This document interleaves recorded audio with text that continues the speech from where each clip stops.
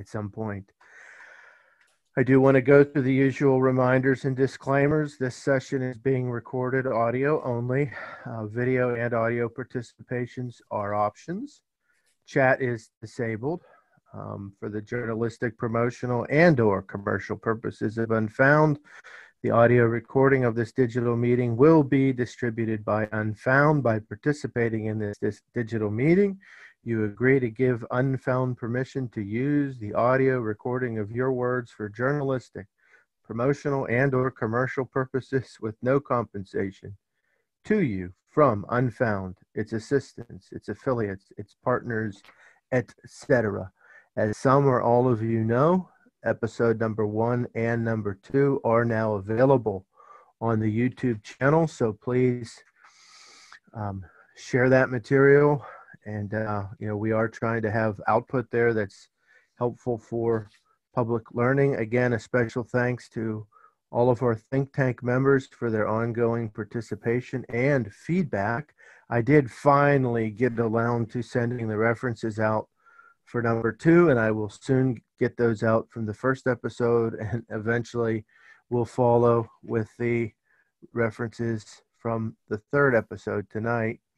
And uh, of course, Natasha is creating web space for these, and you get those by email. So that's for due diligence of documentation as well as our ongoing learning and usage. So that's important.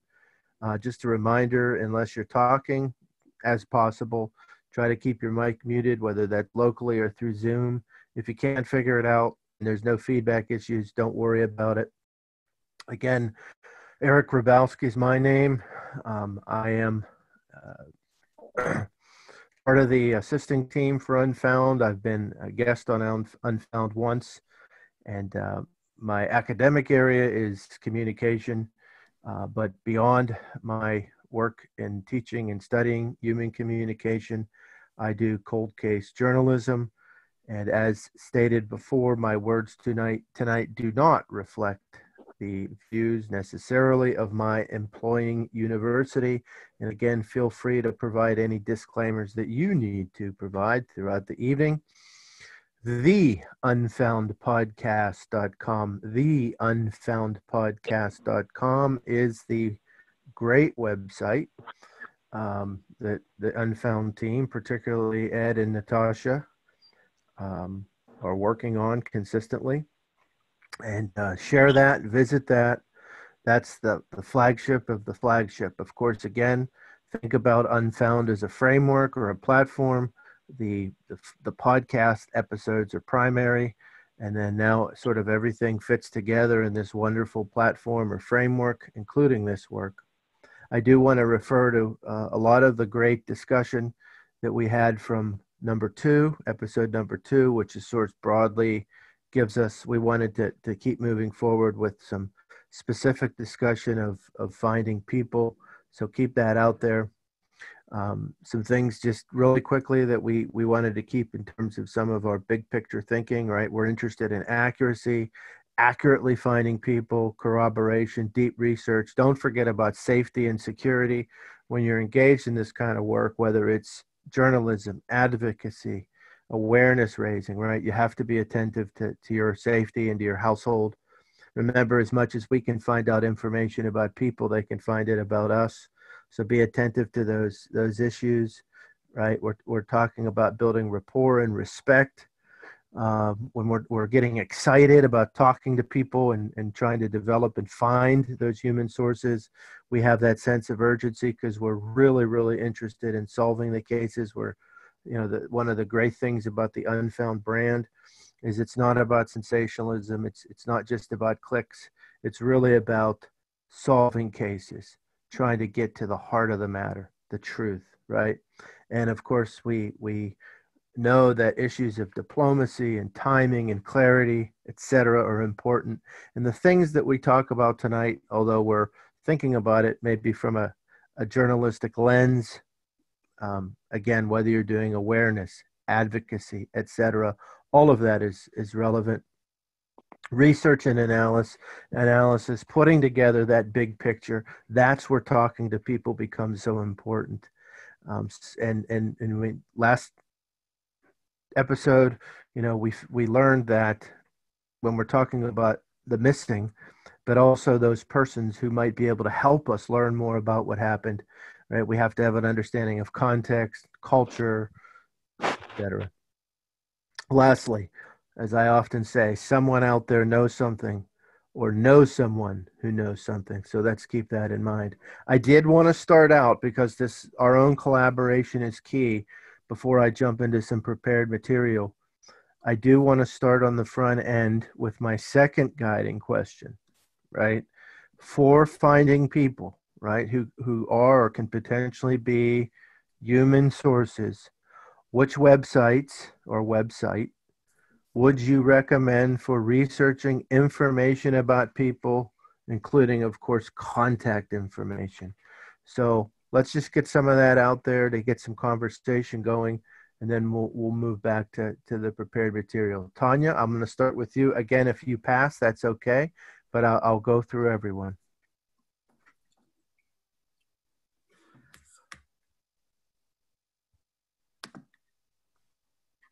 Okay, that's okay. Cherie, we'll go to you. You're an expert in this area. Are there any websites that you would recommend as great resources? Oh, wow. Uh, um, of course, you could use Facebook to look for people. Um, I mean, I use Been Verified sometimes to find people. Um, Ancestry. Okay. You know, all of the social media, Twitter, Instagram. Okay. Great. And we'll do more on, on social media. Uh, can I ask you one question? When you use Been Verified, that is a site that allows some quote unquote free material out there. And then, of course, it's trying to, to sell further information.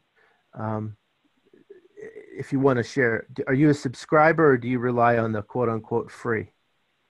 No, I am a subscriber, but it, I mean, it's not, I wouldn't say, I would say that it's only accurate like 70% of the time. Yeah. So, I mean, I don't know that it's necessarily worth paying to be some, you know, for that one time that you do actually find somebody through it, it's worth it. Yeah. But, you know, you have to weigh the pros with the cons. Yeah. Now, one of the things I, and since we brought it up, I'm going to mention one of the things I've noticed, and I do not subscribe to it. And when you try to use a paid site that gives some free information, what I have found, and, and maybe it's just um, I'm, I'm misguided, but it seems to me that if I want to check to see what's on been verified, I will go to Google and I'll put in the way it's rendered, been verified, one word, space, and then with or without quotes, any information I know, like a name, a full name, etc. Uh, and then that sort of pops me up because they're trying to come up and search with things that might be a hook, right? So, in that point, that gets me right to what I need there. Because if I just go to been verified and try to search, doesn't it get more clunky? Right. Yeah, I would agree with that. So that's worked for me. I, yeah, I would yeah, say some, that um, you know, some, there has definitely been instances where we have been able to find phone numbers to contact people using that site. Personally, it has happened. Yeah. But there's also been numerous occasions where the information was useless. So sometimes it's outdated, you know, right?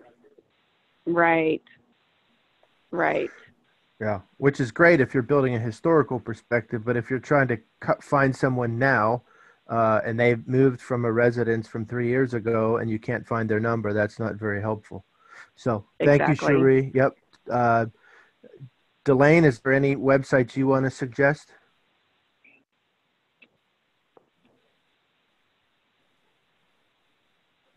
Okay, passing's okay. Nothing wrong with that. Jessica, how about you? I'm gonna pass. Okay, not wrong with that.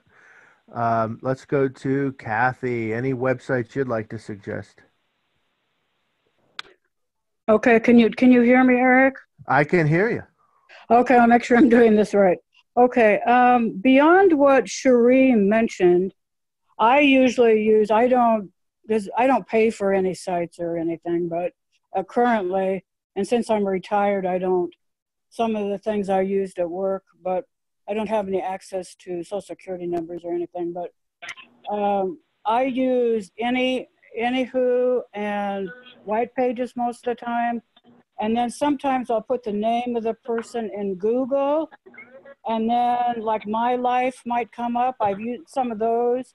But again, you have to make sure as far as if you're getting, like if the person has a common last name, if you're getting the right person, you got to be really careful with that. So Yeah. I do just as a, just having these different mixes or trying to find friends. That's what I have mostly used. Yeah. Nope. That's helpful. We're building a list. Very helpful. Natasha, anything you'd like to suggest for this question, just in terms of specific websites? Hi, Eric. Sure. There's, um, of course, namus.gov, and I use that quite a bit uh, in my videos. Uh, I create the videos for the Unfound podcast, the audio episodes. Yeah. And I really turn to that as the go to credible source. It's fantastic. Uh, usually they're in there. And uh, I download the missing poster that you can create, um, obviously for free once you register the missing poster is in English and Spanish. So uh, I put that in the video. And the more that the victim's information gets out there and the pictures, the better. Thank you. Yeah, and there's so NamUs can be an awareness raising uh, framework, uh, a historical or contextual case framework, but it also can be a great starting point on uh, deciding whom to reach out to because once I know that information, I can begin to build outward. Um, and if you're someone who, and again, we're we're not depending on your view, right? Whether you want to talk to family or friends or law enforcement or other media, right? So whether it's Charley Project or NamUs, you have a starting point. Now, again, some of what we're talking about tonight is building from the last episode and getting more specific. But sometimes in the course of research, you find a name and it's like wow i really need to talk to that person. So we often stumble upon those names in multiple ways but yeah namus Charley Project it's part of this and this is something i'll be emphasizing tonight and whether you're thinking in terms of genealogy or or, or location proximity right you're building a picture. You're you're piecing things together. So yeah you can never discount those sorts of sites. Let me mention a few while we're here and some of you, of course, mentioned some that I had in mind. So we're, we're not going to be too redundant on that. But of course, some of the things we'll be mentioning tonight have to do, especially if you're looking to, to find someone, um, you know, um, trying to decide where someone's at, what information you have, what connections uh, what information's dated, outdated. One is Zaba, Z-A-B-A, search.com.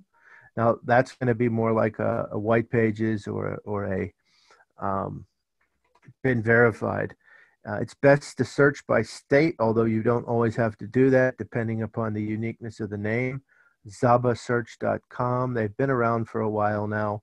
Once in a while, they will have numbers or at least an address um, that might or might not be found elsewhere. Now they are advertising; they're trying to to you know monetize, which again is fine.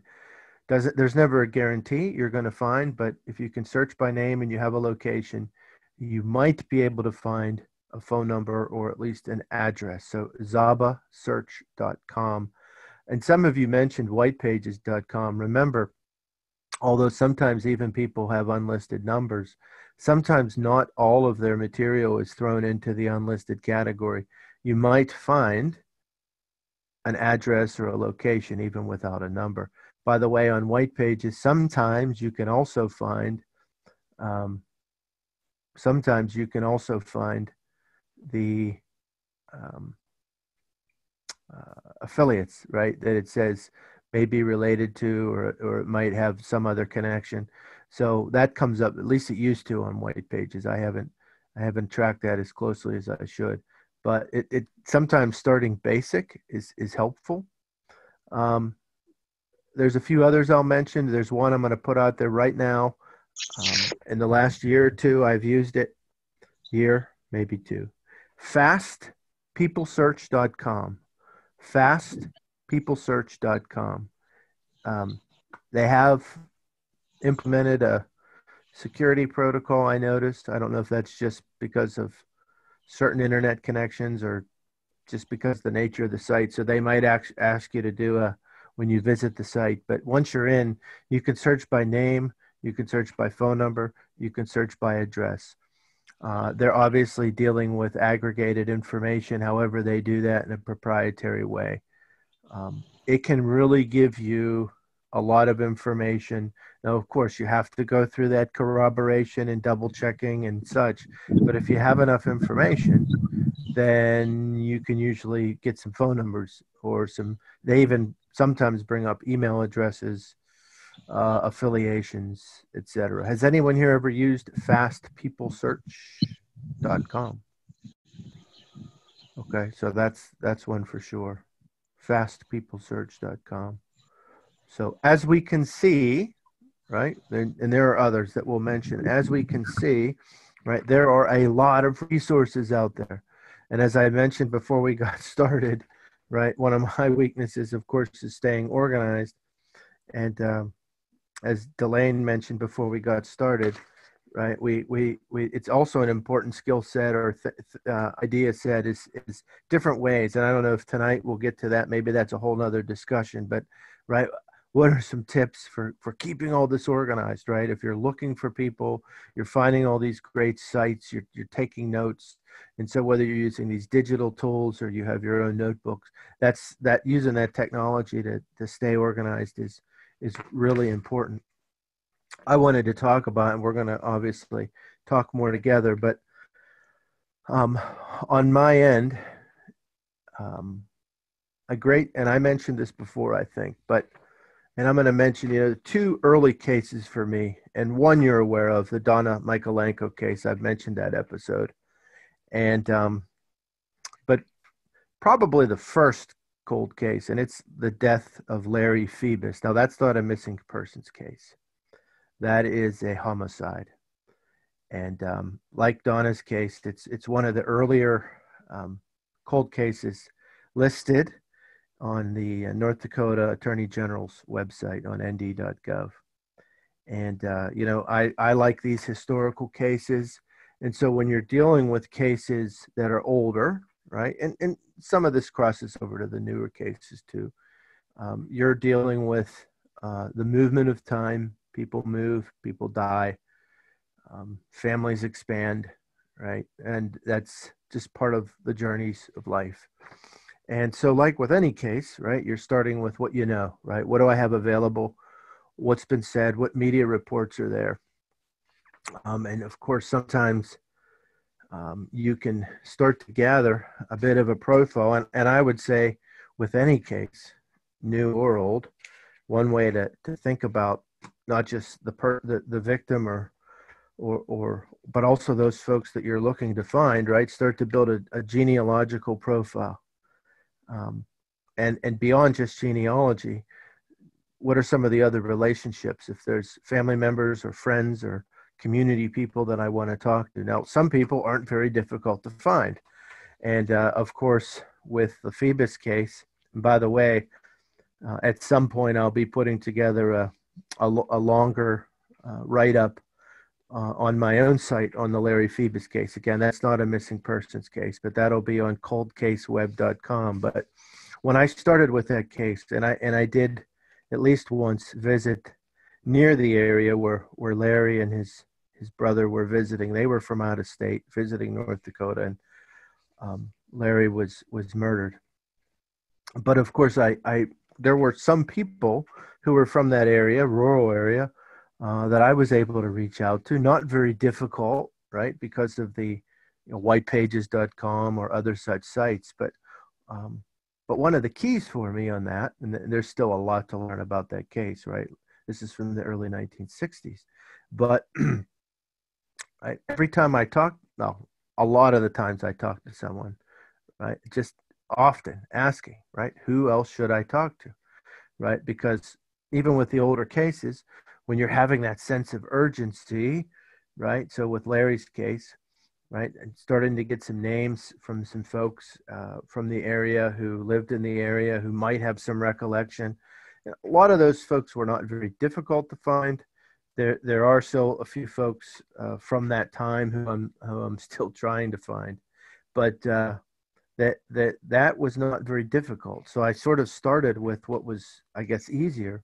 Doesn't mean that everyone had was always willing to talk or always had the recollections, but that was an important place. But once I started through the document evidence and talking to some people, um, once I started to have that picture, right, and of course, as I mentioned before, a great place to talk to if you want to branch out. Keep in mind, Larry was not from North Dakota; they were in North Dakota, though uh, is the obituary. Now there are different places, and this wasn't Larry's obituary. This is an obit- obituaries from other people in his his family, because over time, again, people die, people move, people get married, and looking at an obituary. And again, this is not to be morbid. This is just part of a the, ne- the necessity of of doing research. Right, an obituary provides information. So.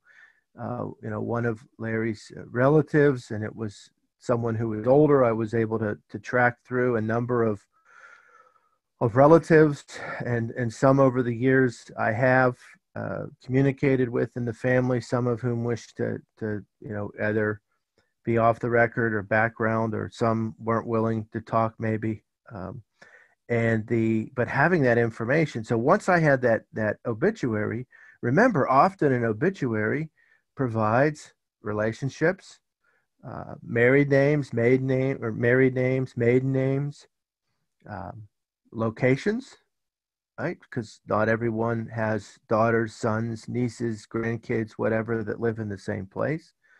Um, that provides something that you just create a list and start building from. So if I know I'm looking for person A, and person A was related to this person and thing, I can say, okay, at this point they lived in, you know, Texas or Alabama or Florida. Okay, well, now I have a lead in in terms of where I'm trying to find them. So obituaries are a great starting point. I know for the, the Phoebus case, that was important. Um, again, the case was from the early 1960s, and in reality was it was one of those cases where there wasn't a lot of, you know, there, to this day, there, as far as I know, um, you know, there hasn't been a lot of movement on the case. And so that was a big starting point for me. And again, like we talked about before, then I was able to, it wasn't really difficult to find a lot of the people just using some of the sites we've discussed, but uh, knowing who to find, right? And so then it's like, okay, find these folks and stay organized. Has anyone who ever used an obituary to, to as a starting point? Uh, Eric, Yeah. that was something I forgot to that I omitted, and I thought of it right after I stopped talking. But I use obituaries quite a bit. Yeah. They can be they can be very helpful. You're trying to locate somebody that you know, or these missing person things. Uh, you know, some people don't have an obituary, and death records, at least in California, are not public records. Yeah. So I, I found that out maybe a couple of years ago. So obituaries are really great if they do one. Yeah. And thank you, thank you for mentioning that because that is something I use quite a bit.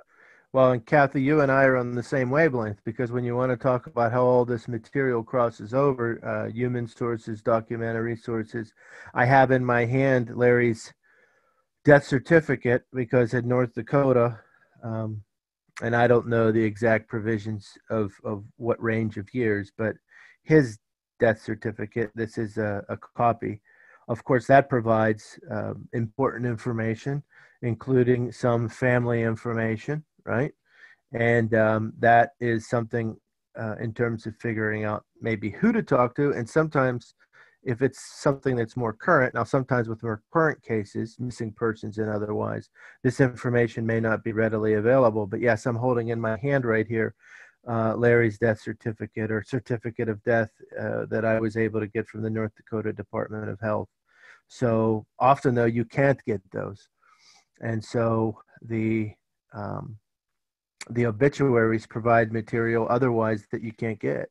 Anyone else have experience with obituaries?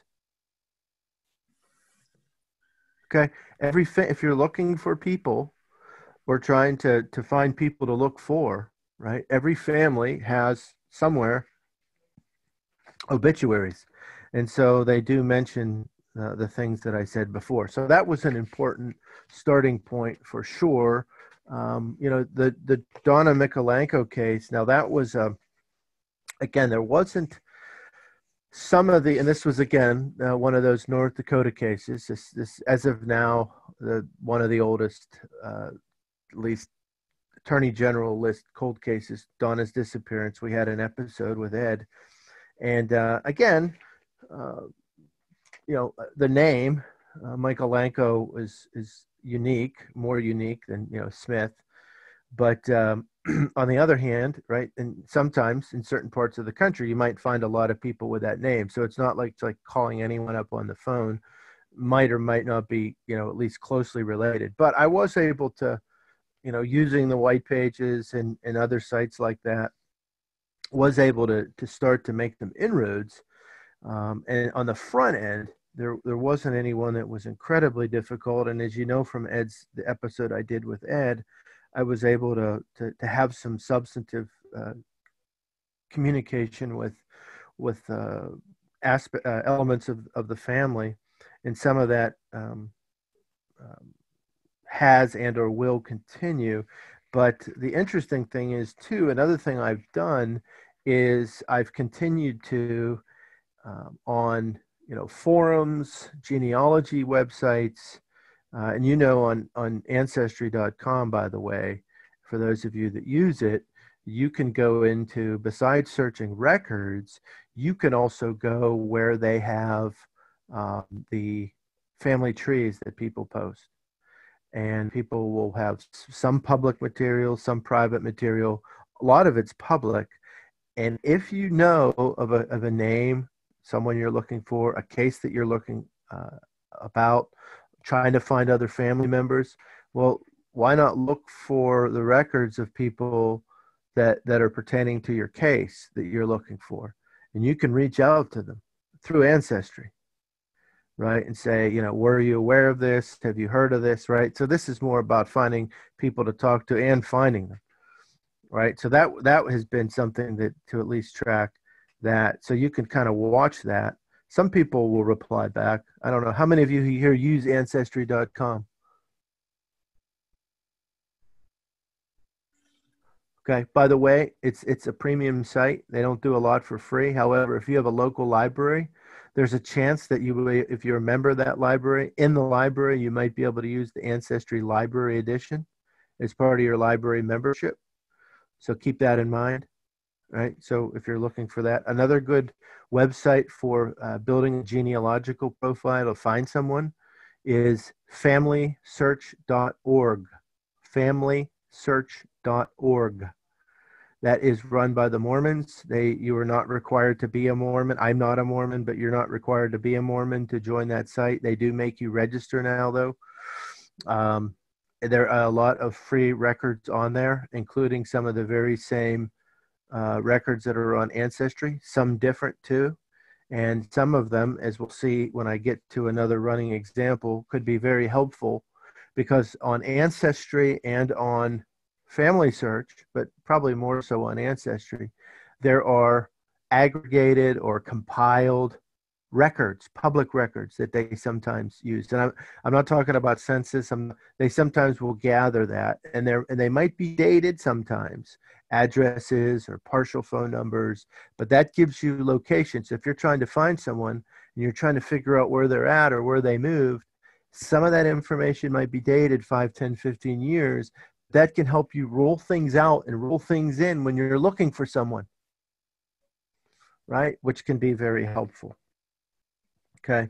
One of the other things I've learned, and it's not, and this is also helping out out on the Remmer case. Um, obviously, you have certain information available to you, and and of course, we know with that very long episode, Ed went into some some great depth about how he acquired certain information. So when you have information available through documents or through through background or or whatever. Uh, but remember, based on what you know, and you're looking to find someone, and, and, and sometimes it's just a simple case of, of going where the obvious may be. Right. So, in the case of one of the persons on that episode that was discussed, one of the security guards, right, part of that process was simply calling the workplace where they were or where we thought they were and where they indeed at the time at least still were or are at the time and i when you call up looking for someone i am not in any way saying you have to do anything deceptive or anything. It's just a matter of being clear. Hello is such and such still there? Or how do i reach such and such? Right now of course when you're calling people searching for people sometimes questions will come up. What do you want to talk to them about etc sometimes they won't. Sometimes it'll be simple oh yeah they're not in right now which happened in that case in that that Remmer discussion right? And that fit into a larger framework of searching that ed and probably cherie were doing as recounted on that episode. So sometimes just knowing you know if you if you're not sure where they're at or if you if you're aware of where they they had worked or might work or or whatever just call up. It's such and such in. Sometimes you know it might be more simple than we think. So that's important to know too. Um, okay i don't want to keep talking here without this interaction for that's important um, it's, before i get into a longer running example uh, does anyone else have a specific example? And again, you can you can keep it more explicit or or more general, but a, a concrete or specific example that you used in materials in finding someone for a missing persons case. Delane, anything you'd like to share? I see your hand up. Well, yeah, I um, it had occurred to me earlier today, but I forgot to mention to it to you before we started the program was if you know a name and a general area, searching property tax records are a great resource. Yeah. And if their home has been sold, you can generally find the deed book number listed there and Yeah. go to that page in the deed book. Yep. And they may even have their new address on the sales documents and the transfer of the deed. Yeah. That's a great one. And and and county and those are usually held at the county level, right? They are, and they're generally free. And like I know here in Cumberland County, they went back and they scanned, you know, all of the old files. Yeah. So you have access to a lot of data. Yeah. That's that's that's a very helpful suggestion and and county local government records can be very uh, can be very good resources which then tells you why it's important to build that profile that locational information because if you have a sense of where they live or where they might have lived for a time then you can look to that sort of information. Thank you. Tanya any specific lines of research that you'd like to share? Um, I was thinking uh, possibly yearbook.com because Oh, you wow. could see friends of Yeah. theirs and people maybe they've played sports with, you know, baseball, they've been in certain clubs with. Um, the other than that, um, Google for local for their local newspaper yeah to see the articles and i was going to mention too the property transfers arrests police and fire marriage and divorce sometimes they might come up in those things as well Yep, that that is very relevant um, for sure, and understanding uh, that then gives some insights into who people who who people are connected to, who they're affiliated with. You know, and sometimes we, and I'm using the the Michael Anko case here. During the uh, Ed's, and we'll keep the conversation going in a second. During Ed's episode, my episode with Ed, I mentioned that I had developed a contact uh, close to the close to the area who knew a little bit about the case and, and he had suggested hey read this book the ultimate evil and um, did that which of course got into a larger discussion about um, how certain um, cult activity uh, crossed over through a time at least North Dakota. Now, at this point, at this point, um, I would probably say that Donna's disappearance was not related to that. But after reading that book and then creating a list of names and, actually tracking down to the extent possible either some of those people or people that might have been familiar with some of the things mentioned in the book. Um, i'm still i'm at this point saying okay a lot of that activity was later than donna's time. I have not seen anything that tells me it started earlier although that's possible. Besides the documentary evidence and taking the time and a lot of time and trying to talk to some of these people that were either mentioned or were familiar with things in the book and or um, I'm, I'm still at that place right that that activity probably wasn't related to um, donna's disappearance. But boy it taught me a lot about that that part of north dakota and some things that were going on from you know minot north dakota down to bismarck north dakota. And it's an adventure and it's interesting anyway. I'm not completely ruling that out but it's probably not likely that that was part of it but but boy i learned a lot. And and so that talking to those people and and finding those people and there's still still some people on that list i made that i'm still going to try to find. And and and that's that's that's important. And you can see how this could become an adventure which which which again like we've said before whether you're looking at documents or you're trying to reach people this is the stuff that keeps you up late at night and we've all sort of talked about passion right talked about passion cherie is there a specific line of, of study or case that you'd like to make reference to No, I mean, I think my process is a little bit, maybe it's odd. I don't know. I start out broad, like with what everybody knows, and then go through and just try to pick out specifics, like the names, the dates, the place, and then use whatever resources are available to narrow down specific information about those people, that date, that location that are mentioned, and just you know, continue wherever that leads me. That's how I I use whatever resources I can find. Yeah And I wouldn't say I use one more so than the other, yeah but um I I would say that, we have used the obituary that you mentioned. I know specifically one case for unfound that we have not covered.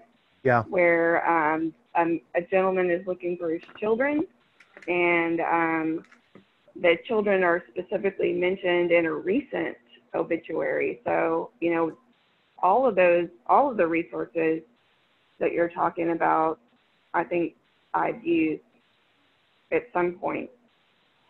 yeah yeah that's that's that's great I mean, maybe yeah, it's a more disorganized kind of way to do it, but I mean, it works for me somehow. Yeah, no, there's no doubt it works for you because again, you're you're part of the important forward movement of, of unfound. There's no question for me staying organized is an actual problem, but I'm working on that for sure. Mhm. Uh, Natasha, anything you'd like to share, a specific line of study or an example?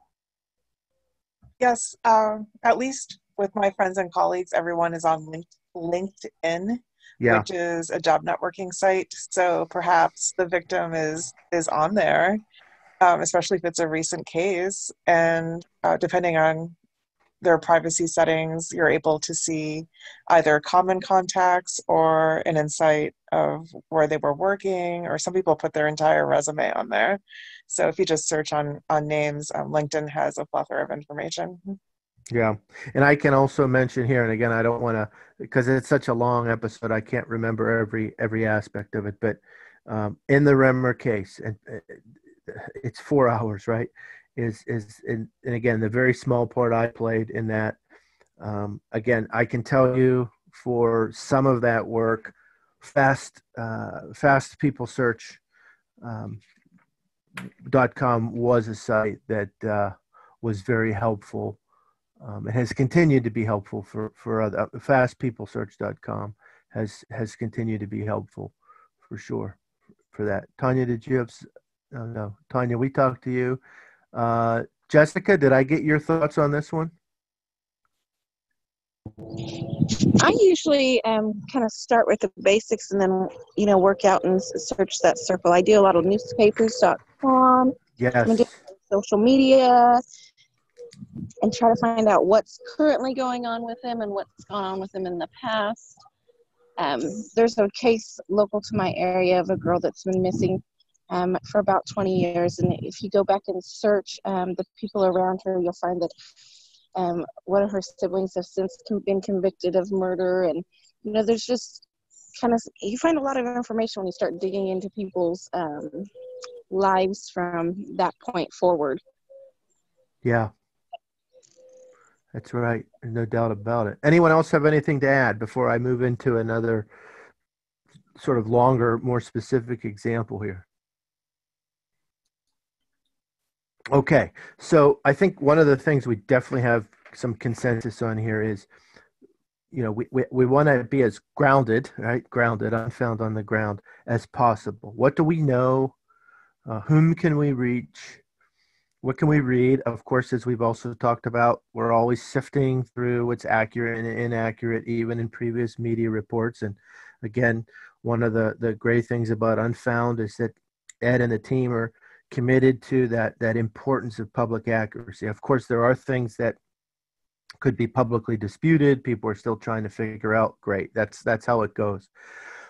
So, what do we know already? Sometimes, though, we run into a case whether someone tells us about it or or we read about it. It's like, wait, I need to talk to that person, right? And then we have to approach them, and like we talked about in the last episode, right? We have to determine, you know, do we do we call them? Do we email them? Do we use social media? Do we write them a letter? Right? Those sorts of things. What's going to be our approach? How are they going to talk to us? But you know, I need to talk to person A, and that's so important because it seems that, that in some way that they're a key person in this case, whether it's a family or a friend or something that was sort of involved in someone's life or um, maybe a law enforcement or some other professional that was involved, but they're just hard to find. Um, so it's like, okay, what do I know about that person? Maybe I don't know much. Maybe I know some. And so I just kind of have a composite here or a of of of some some uh, casework, and um, and so let's just say that that person's Betty Doe. Now for me, who who's interested in a case that's an older case, right? Betty Doe, someone who is is key to this case, because maybe for a period of time she knew a particular missing person in some way or another personally, and this Betty Doe might have information that might pertain to that person's disappearance. Okay, and so and I'm and I'm using the name Betty Doe here, which is generic. Now I might know a little bit about Betty um, I might have some existing human sources that might be able to tell me something. Maybe or maybe not. Betty's name is mentioned in, in media or some other document. Okay, so I go with what I know. Maybe I don't know much. I know a little bit. And so with Betty, maybe I can start with, especially because maybe Betty was involved in this missing person's life, you know, three, four decades ago. So that definitely at that point, a genealogical profile is going to be helpful. And, and I'm working under the assumption that Betty is still alive, right? So, to the best of my knowledge, Betty's out there. Now, for an older case, and I've identified this Betty Doe, it might be that, you know, who knows, maybe Betty has passed away. But at the time, I'm working under the assumption that Betty's still alive. And so I'm thinking, okay, so unless I see a death record or obituary for that specific person, right? I have to assume that she's out there and there's some way to reach her. Now, maybe I know Betty's last name is Doe, and I and I know or have a sense through discussion that that that made that was probably a married name. Okay, so on Ancestry, right, or FamilySearch.org uh, or some other genealogical record, I'm going to look out there and see, you know, if I have some approximate idea of where she lived or might have lived, I'm going to start looking through marriage records, you know, legal records for marriage, legal records for divorce, you know, other sorts of things. Now, of course, census records are tough, and I'm talking federal census records here because with the laws and policies of the U.S. government, that the, the old the the census that we have available now, the latest one is the 1940 census. For those of you that that do any of that research, now, indeed, if you're trying to figure out someone's maiden name or where they're from, that that information may be helpful. But in terms of where they were in the 50s, 60s, 70s, 80s, 90s, right? There's those census records are not available yet. Uh, they will be someday, but long after, you know, I need to find this person now. So I'm going to start looking through those sorts of records. And then I might discover along the way, well, at some point, you know, the man to whom that, that one person told me that Betty was married to uh, did, uh, and maybe that person told me that too, they had some, some recollections, did divorce someone. And maybe I start looking through some, some records. And keep in mind in ancestry.com, some depending on the state and the location and the time right especially things that are forward in time you may not always see the original record. There may be some uh, transcripted or aggregated information that can still be helpful because even with the minimal information i might still see something like oh a maiden name right let's say she mar- remarried later right and i might say indeed maybe betty's uh, maiden name was smith okay, now all of a sudden I have something more to go off of, right? So Betty Doe's name, that's the name she had for some time. I, I discover through looking through those types of records that her name was Smith, maybe from the 60s and 70s into the 80s. I discovered that, oh, eventually she married someone with the name of John Jones, okay, because I see some commonalities.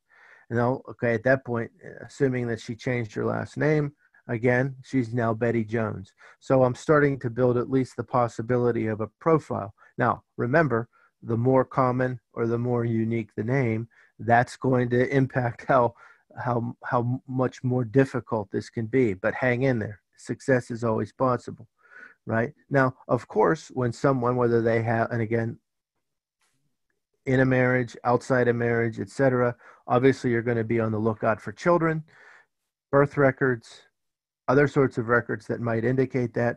Because if you're trying to find someone, right, part of that might be reaching out to someone who knew them or who knows them, right? And that could be a, a, a child, a grown child, of course, at some point, or some other relative. But by looking at those records, all of a sudden I see, oh, yeah, Betty Doe by the 1980s or 90s married a man named John Jones. And of course, now her name is Betty Jones, or it's John and Betty Jones. Now I have right? And I start to learn more about her once I know specific where she's from. By the way, some of you know one of the key things to know when you're looking for someone to the extent possible is their age and to the extent possible their birth date. The year and more specific if possible. Why? Because when you're matching records to see who might be actually that person, the closer you can get with more information, the better, right? Age, date of birth, location, etc. So once I have a decent picture of now who that Betty Jones is by the 1980s or 90s, right, based on an approximation of her age and something maybe more specific, uh, and then then I'm into well, what information do I have? Where might she live? Well, you know, we know that sometimes people move far away, sometimes they don't move very far away, and of course you have to make some educated guesses. But once you have a sense of where someone might live based on that information, then all of a sudden now I'm looking at okay, I think this might be the person. Uh, I'm using my my you know fast people search, my white pages, my Zaba search, and I'm starting to look for other connections. Right? Do they live in a home? do they live in a home that's on a in a community residence area right one of those those communities like a gated community or or whatever do those areas sometimes put out newsletters that talk about their residents are there people that are property managers or local security people or local uh, PR people for that community that, oh, if you were to re- reach out to them and say, do you know this person? How might I reach this person? Right. By the way, sometimes you look that up and you're on, on white pages and the, and the phone number might be unlisted or it might not be current. But by the way, you have an address. And if you're not able to reach out to someone by phone, maybe you might write a letter, okay, uh, or whatever. Okay, now not all people use Facebook, but as some of us have mentioned, right, social media, social media. Maybe now if you you have the name that you think is the name of the person you're looking for you're looking on facebook or linkedin maybe they're being talked about. Remember when you're on facebook you can search profile you can search posts you can search you know other sorts of things. And i was and, and those those are important things. Linkedin twitter right they all have different search capacities Well, once I start to have that, we're into our county records, right? If I have a sense that someone lives in a certain area, right now I can start looking at deed or title searches, right? In terms of those records, the ones that are every county, of course, has different amounts of, of information, right? Uh, of course, depending on their age, right? In, this case, that might not be something that's relevant to finding them now, but if it's something more recent or current, right? Where do they go to school? Where did they go to school? Right? That's important. Where do they work?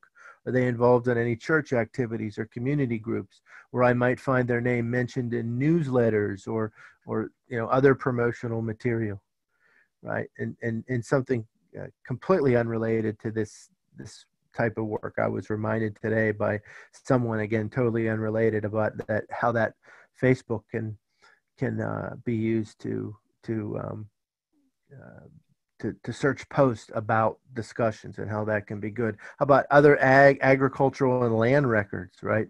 That, that come up. That can be something that's very important to find someone's um, where they're at, right? So just walking through the decades, especially through those older cases, that Betty Doe, that characterization that I just used, right, is a process. Is from a, definitely a particular case that at this point I'm I'm not in a in a point to speak to publicly, coupled with a composite of some other some other cases that that show how you can walk through that and find that material, walk through marriage records, divorce records, different things from specific states, uh, looking at those connections, finding a remarriage, finding a place where they might live, venturing a couple educated guests, looking that up, finding some information about the local area, and then back to newspapers.com and or other media sources. Sometimes you will find that person and or their spouse and or other people they know mentioned in the paper, right?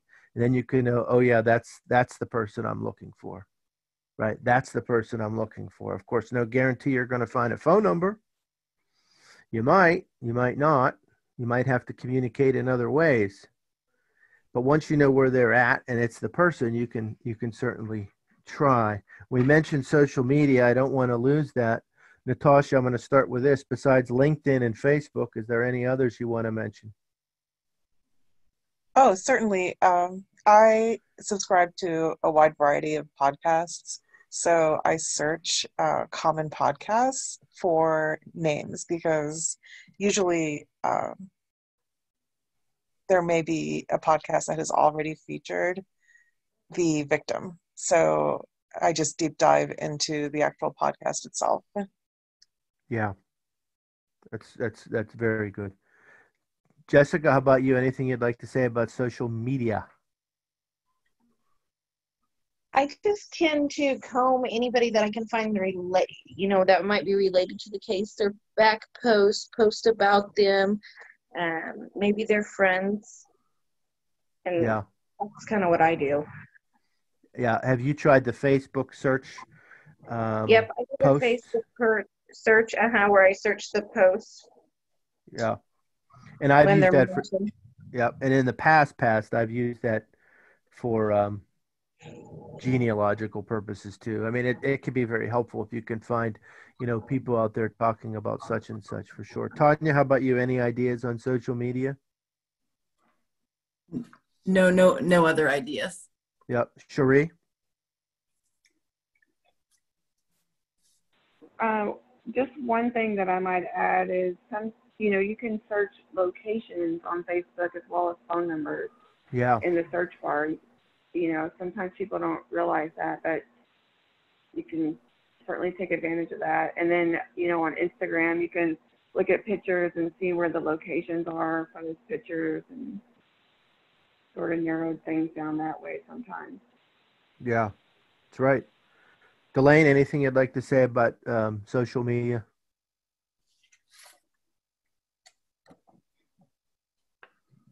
Okay, that's okay. Kathy, anything you'd like to say about social media? just kind of the obvious ones that no one has mentioned as of yet that I read quite a bit, where a name might pop up, either Reddit or Web Sleuth. I read those quite a bit. Yeah. So there's some little link, maybe a person's name or a location or an area, but you just never know where you're going to run into something that's useful. Yeah. Yeah, that's that's that's absolutely true. You you have to be able to to put in the time and willing to rule things out and rule them in, and you never know where you're going to find things. I want to mention we were talking about other things.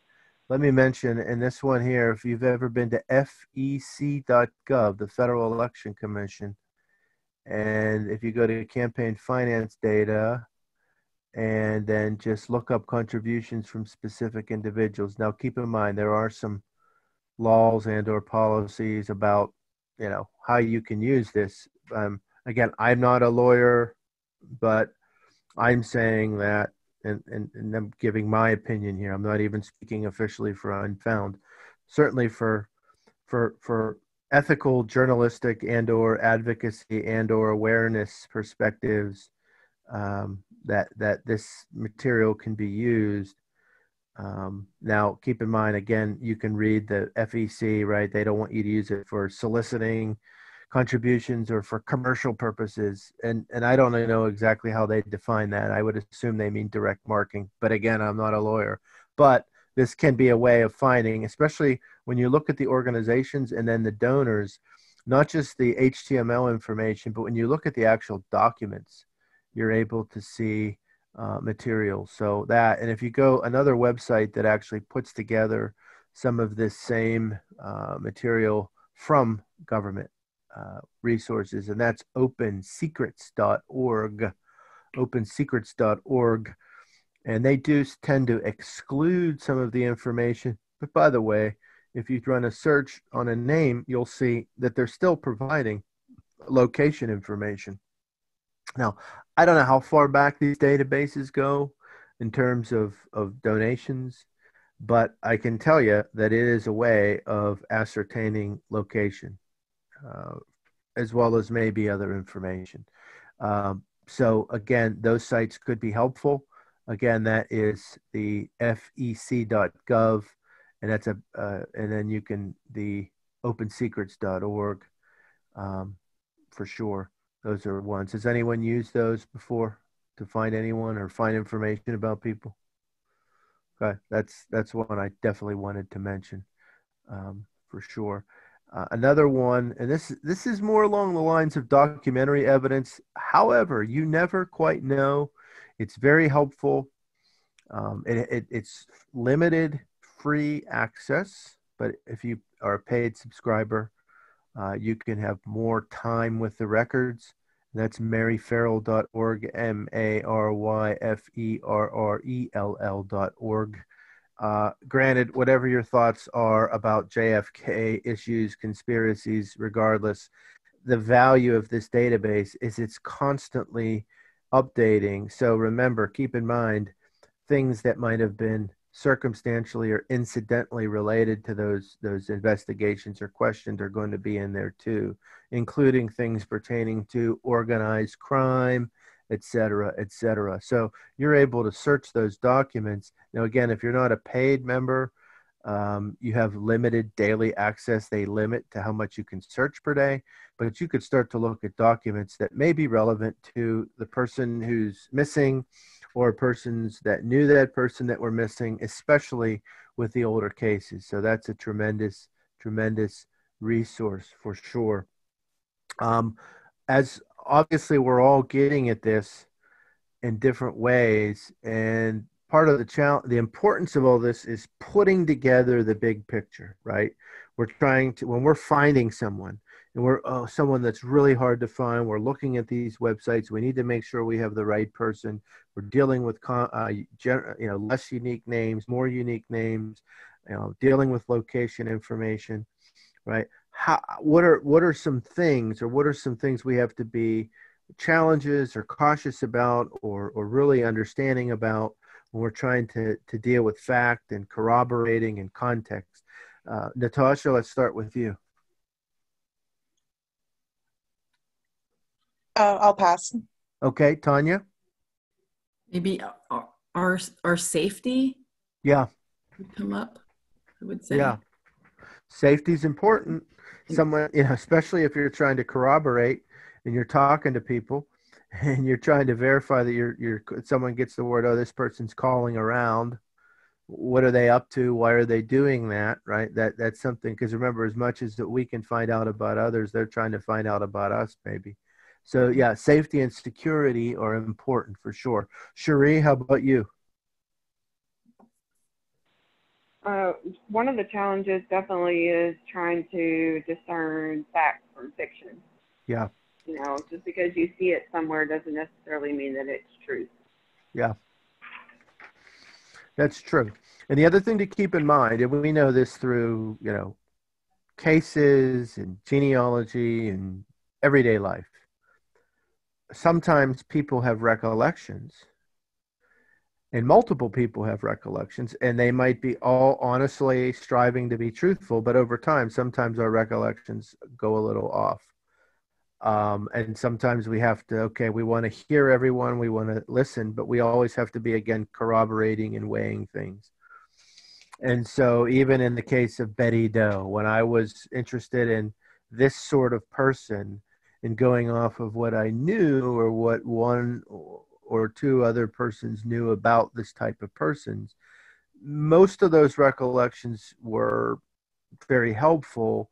There were some details that the, the, the person who had a recollection of someone who had a recollection that needed to be tweaked a bit. Now, that's because I found these other records in these sort of cases. Now, granted, as we all know, sometimes documents could be off a little bit or mistakes, but generally, you start to see patterns and you say oh no this this is what happened. This is that person was living here. But um, yeah it's important to to be um, as accurate and uh, because that's accuracy is going to lead to efficiency because if i'm trying to find someone and and i'm not sure where they've lived in the last five years and the last known record of i had was from 10 years ago right and this person A said, "Well, I thought they did this or that." That, right, we, that accuracy is going to lead to more efficiently, effectively finding them. So the more quickly we can sort through fact and fiction, the better. So that's helpful. Delane, anything you'd like to add here? Okay, Jessica. No, I don't think so. Okay, Kathy. Uh, I think that fact versus fiction is a really big area because just on any cases that we do on Unfound, and when you're doing research on a case, there's just so much fiction or the person's not quite getting the details right. So if you can get really adept at when you're researching, you become more and more familiar as to what is probably fact and what is probably fiction and maybe like Delane was saying about keeping a notebook, that's a yeah. really good thing to do because it's you're going to mix up when you're especially when you're doing a lot of and there's been over 170 cases on Unfound trying to remember the different little details. Uh, it's really good to document, document, document those kinds of things. And another thing I would say is when you're like calling people up, trying to find somebody, or you Betty Doe that was listed here, make sure you watch the disclosure, that you don't tell too much inform, give out too much information that that person really doesn't have a right to know. Always watch that disclosure. Yeah, that's a very good legal and ethical point for sure. Um, yeah, absolutely. The fact from fiction component is very important. One of the things that we mentioned last time, and I've certainly learned this, and I'm sure some of you have, when you're reaching out to people and you're especially talking to that person whom you really wanted to talk to, remember they're also listening and one if they really want to talk to you, maybe they're ascertaining what you're about and what you know. And if you're doing your research, including talking to people and talking to the right people, and you're demonstrating a working knowledge of fact versus fiction right that's only going to improve your credibility. Once once you know that you've you have an established oh this is the person i want to talk to and i'm starting to develop some rapport right? Well if i'm really striving to be someone that's committed to what's true and that really comes out right in the ethos or the credibility that i'm able to bring forward for sure but yeah, that sense of caution is is very important. Want to mention another site or two here, folks. Now, this these two are also very good for basic, not basic or advanced documents, but also could be helpful in terms of finding people, in terms of looking for affiliations. Of course, we've talked a lot about government records. Let's not forget about court records. Okay. And again, when you're dealing with missing persons cases, right, you're dealing with people that, that know people that might be on all different sides of the law. Uh, so law.justia.com, J-U-S-T-I-A, law.justia.com. And then, of course, if you go to Google Scholar, scholar.google.com, and remember, you can you can select case law, okay, and then from that, and you, it's not too hard to figure out. You can determine what types of courts that you want that case law to come from. So you can find court cases, okay, and what that's going to do again it might find people that you should be talking to but if you know already know of someone that you're looking for again you know not saying everyone you're looking for is going to have that sort of have that sort of uh, issue or, or or or be tied to a court case but they might and so again networks affiliations who knows whom for what reason what's the context? Um, again these sorts of things are important research anyway a lot of what we're discussing but it might be helpful in terms of figuring out and sometimes those court cases might give information about the person that that's filling in a, a, bigger a bigger picture for you anyway. So has anyone here used google scholar even the case law part the court case part okay so that's one to try scholar.google.com what someone's got their hand up yep cherie go ahead no, I was just gonna say that I do use that sometimes for trying to find court records and case records. Yeah. Has it been helpful for finding someone specifically that you might be looking for? And if you're not, you don't have to get into a specific case here, but has it been helpful to say, oh, wait a second, that's someone that I, I do want to talk to or I should be talking to? Yeah, I think it has, um, you know, been helpful. Um, another one that you haven't mentioned, and it's kind of, I just recently found it, and it's really more like a liberal arts where they have like music and books and things like that. But archive.org, oh, they yeah. also catalog like old websites and stuff like that. Yes. So there might be some, you know, that could be beneficial to somebody as well. Oh, yes. And that, of course, is, and let's just mention it here because it was mentioned and and that's archive.org. And then specifically what's being discussed here, besides, by the way, archive.org itself is a tremendous search thing, but the Wayback Machine. And so yes.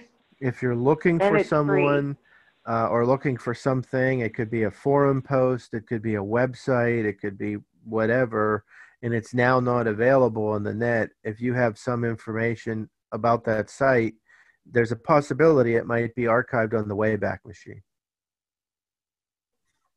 And that could be helpful. And again, these are things that can be helpful for finding people, finding documents, etc. So, Cherie, that's tremendous, right? Archive.org, A R C H I V E.org. Don't forget, folks, we're going to have a list of this that we're all talking about. So, yeah, that's that's very helpful. Archive.org. Um, the there is a site and he's it's a great site and it's an open source intelligence which a lot of what we're discussing tonight has to do with open source intelligence and has to do with we're also talking about things that deal with social media intelligence which is you know and i mean from an open source standpoint so things that are out there available of course, we want to use it ethically and legally, but it's out there and it's something that is, and it's not just finding the information, but it's analyzing it. And, you know, maybe more in the future we'll talk about, oh, we will talk more about it. Maybe in the references, I'll, I'll throw some resources about it, but open source Intel. So inteltechniques.com, I-N-T-E-L techniques.com. The gentleman that runs that site, it's a tremendous site. And he, has some some tools that and you can just go to that site and see some tools he has um, that that actually can be helpful in terms of finding people um, and it's it's it's a good site and um, check it out at some point. Again, Intel, I N T E L, Techniques, T E C H N I Q U E S dot com. And uh, you can go through that site. Some good resources on there for sure. Um, one other one I want to mention, and this is only the federal level, okay? BOP.gov, the inmate locator. Uh, BOP.gov, inmate locate. Well, if you go to the Federal Bureau of Prisons website, you can find it. And um, that will give you, and you have to have at least, at least I think they force you to have first and last name, but I'm not sure. But you know, you might if if you're in a situation where you're trying to find someone who might be an inmate. Now, there are state level databases that vary by state uh, in terms of available information. Okay. But, you know, you might be looking to talk to someone who is an inmate, right? Or was an inmate, right? And you're trying to put together a profile of where they were, where they're at, and, you know, that might be important information. Has anyone ever used any of these inmate locators, even state level? Cherie, have you ever Um, used that? Oh, sorry, go ahead. Yeah, well, uh, the one I use is VineLink, and VineLink you can, it's a free service, and you can register your information, and they will. Not only can you see where they are, you, but you can set up a way to talk to them, and you can get notifications like if they're transferred or, you know, Is and it shows what their their charges are and all of that. That, is that Vine Link? Yeah, V I N E L I N K. Okay. And that dot And com or dot, a, I believe it's dot com. Okay. Well, we'll look into that. We'll make sure to keep that on the on the list. That's helpful, for sure. Um, and of course, as I mentioned, we might or might not mention in a previous episodes. I don't know. Um, is uh, USA.gov, USA.gov.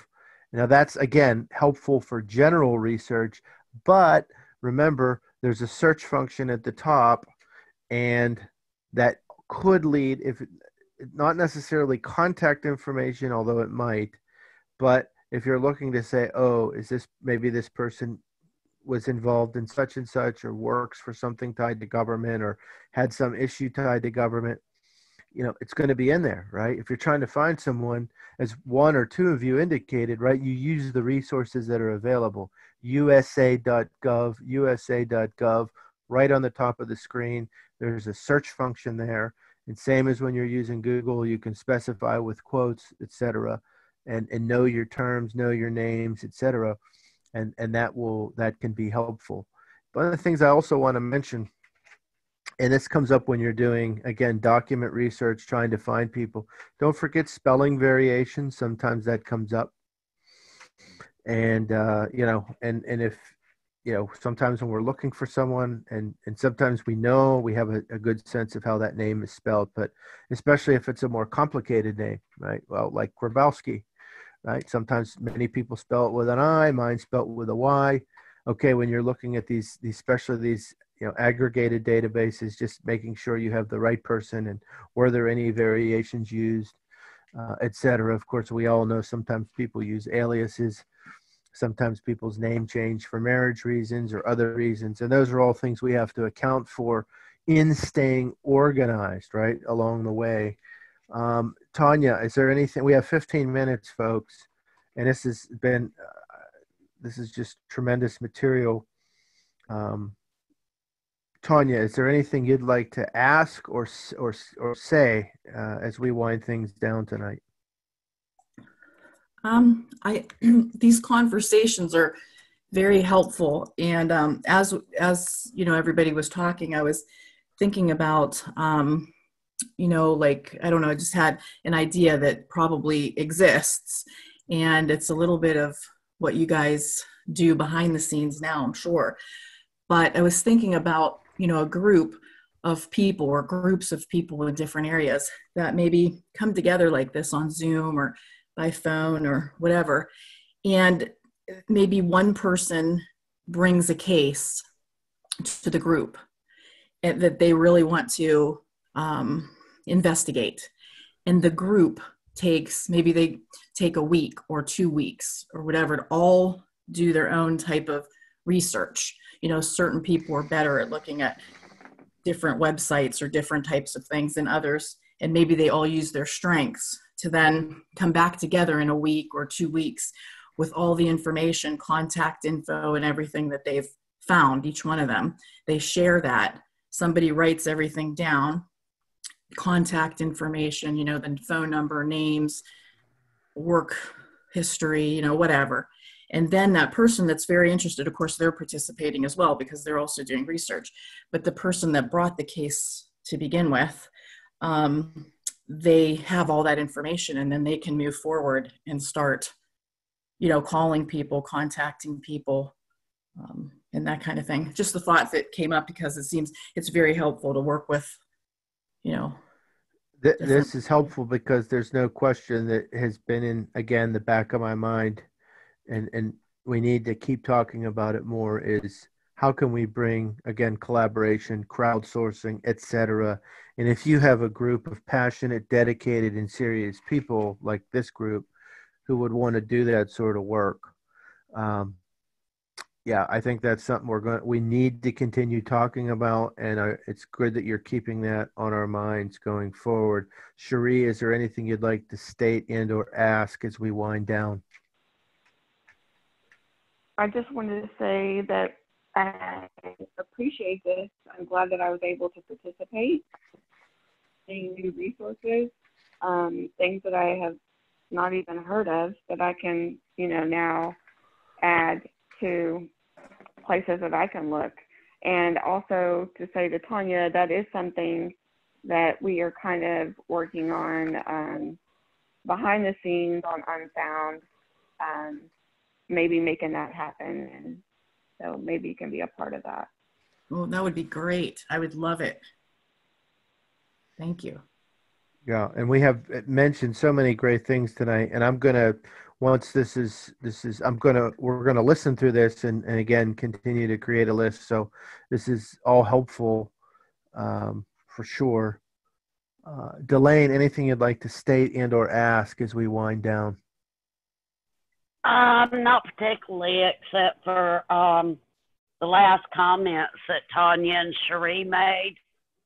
I thought were really great. Yeah, those are those are definitely some really great ideas.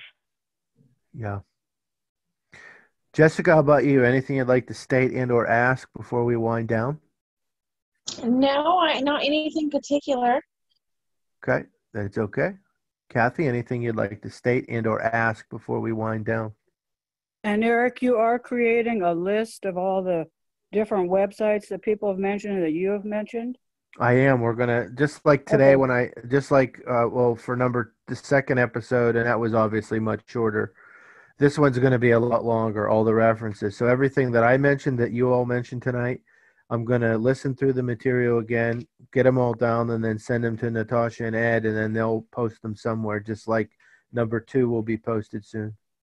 Okay, great, great. Because I've learned a lot by everything that everybody's brought up. But I would, I would just want to add that I personally, what Tanya suggested, I would be very interested in participating in a group like that. I would love to do that. Yeah, I would too. Also, Kathy. Yeah. It's yeah, no, this is something that needs to to continue as proactive discussion. N- Natasha, is there anything you'd like to state and or ask as we wind down? Oh, sure. I'm really enjoying uh, what I consider a wonderful case study on finding sources.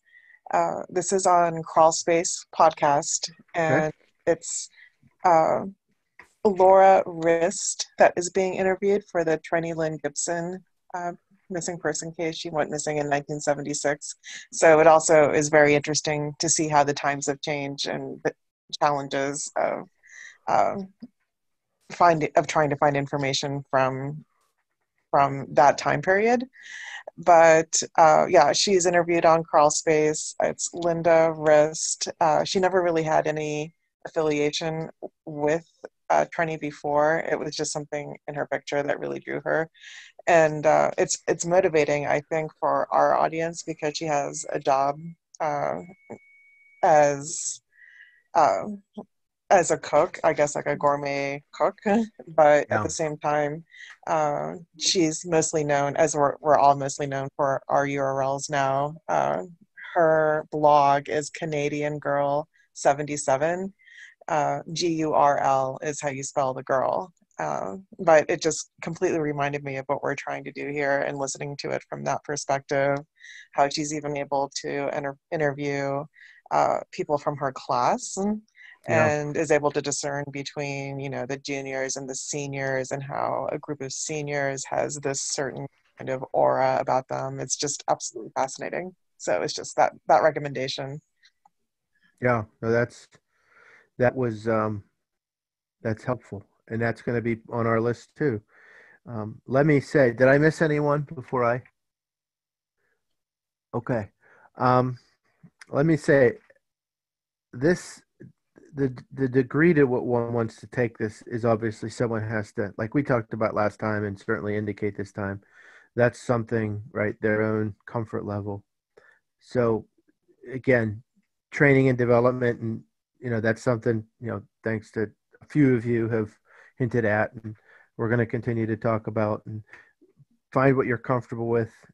Develop that rapport as you as you reach out to people. And and i know last time i mentioned you know, the the new digital ways but we can't forget the old fashioned ways. And with the the Michelenko, Mi- Michael Lanko case and, and to a smaller extent the Phoebus homicide case I'm going to need to do this again with Donna's case. Just going to the area, and, and I'm not even talking. I know last if we've talked about the issue of meetings, and, and that's important. But just going around, and, and again, this isn't for everyone, and I'm not saying what you should or shouldn't do, but um, especially if it's a smaller town area or a neighborhood. And again, folks, keep in mind safety, security wherever you go. You know, if you're going to an area, even if it's an older case, right, that people might or might not have heard about, you can do some door to door, face to face networking. Um, now, you may not necessarily have in mind who you, you want to talk to, and I'm not saying you want to just show up on someone's door unless that's absolutely necessary. But if you're trying to ascertain whom might I want to talk to, and then figure out some some interest, you know, just kind of figure out paths to finding them, human sources and so this is sort of a combination of our number two and number three episodes. Being in that area, and again, cautiously, can be helpful. I can tell you that that was helpful for some forward movement for me. Um, I need to do more of that. Obviously, like I said before, with cases in North Dakota, weather can be an issue, and now with with COVID, that sort of stuff becomes a real challenge but a lot of these sources we're talking about are, are digital, which is great, right? That for all the the pros and cons, and there are many cons of the internet. The pros can be using it in positive ways to help solve these cases. I can tell you, with that Betty Doe example, which was, you know, guided by one case mainly, and then with sprinkling in of some others for a composite, right? That information and that finding of that Betty Doe led to some somewhat significant forward movement, definitely from a personal level and possibly, possibly from a, a, a, case study level. And that's still in process and being determined and ongoing learning. It's that's depending on the age of the case, depending on location, all the things we've talked about, knowing that information, that's important. And all of these sources tonight, I've learned so much. I've learned some new sources and this has been a great discussion and ed and the team or including myself are so uh, appreciative of, of having this opportunity with with think tank folks. And uh, thank you again. So this concludes our unfound on the ground number three researching and analyzing missing persons cases part two finding human sources Thank you for your time, folks. Have a great night and have a great week. And be safe out there in this COVID world.